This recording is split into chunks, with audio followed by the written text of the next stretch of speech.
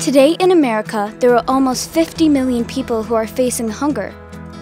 That's why the Feeding America network is always there, helping fill the gaps for people working hard to put food on the table, and providing nutrition and support to families feeling the pinch of rising costs and stagnant wages. But look deeper, and you'll see what's at the very heart of making sure there's enough food for all. America's Farm Bill. It helps make sure everyone has affordable, healthy food they need to thrive. Every five years, a new farm bill gets passed in Congress. And who gets what is being decided right now. Programs that bring food to the tables of millions of families, seniors, children, people with disabilities, our neighbors, are being negotiated right now. Like SNAP, that helps feed about 40 million people every month.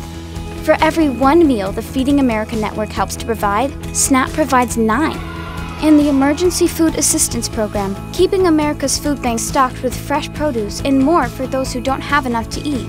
It's one way the Feeding America network provides more than 5 billion meals to people who need it the most. There's a lot at stake. That's why we're calling on Congress to do more than ever to help our neighbors facing hunger.